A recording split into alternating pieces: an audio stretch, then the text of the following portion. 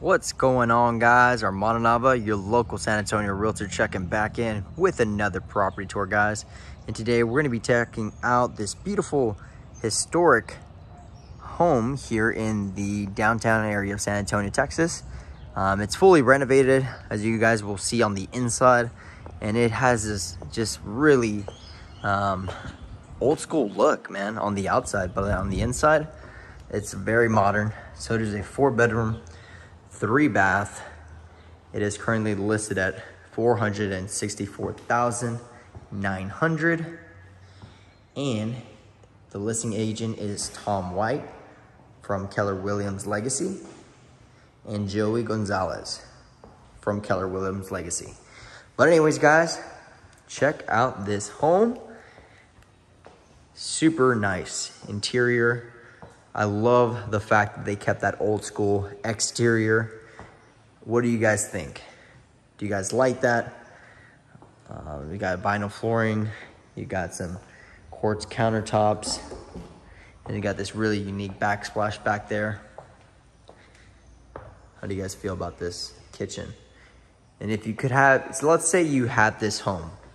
What would you do differently here in the kitchen? Comment down below. But anyways, as you guys can see, it's a pretty nice sized lot. I like the fact that it's, it's spacious back here. You know, not a lot of properties downtown San Antonio have this much of a big lot. They're usually really small. And you got some land here on the side as well.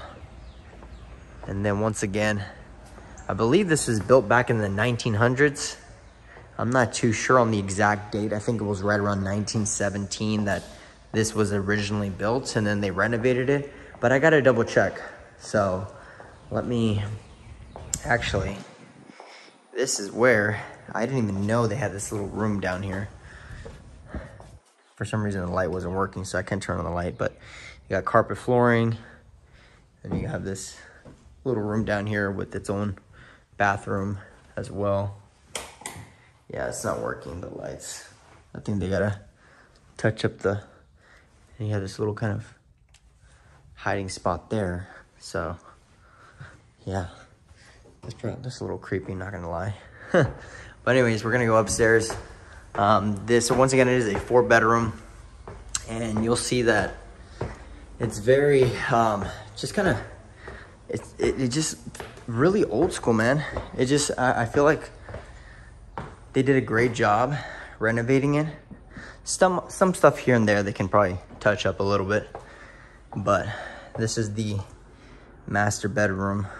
And then the double vanity here. And you have the stand-up shower.